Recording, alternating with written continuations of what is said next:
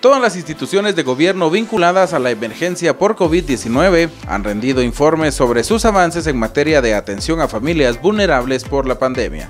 En los procesos de convalidación de beneficiarios y de los listados nacionales, los COES nos han aportado el 93.1% de la totalidad de los beneficiarios en todo el país. Esto en diferentes estados de información, ya que hay algunos listados de COES que todavía se están en verificación por parte de la Comisión Interinstitucional.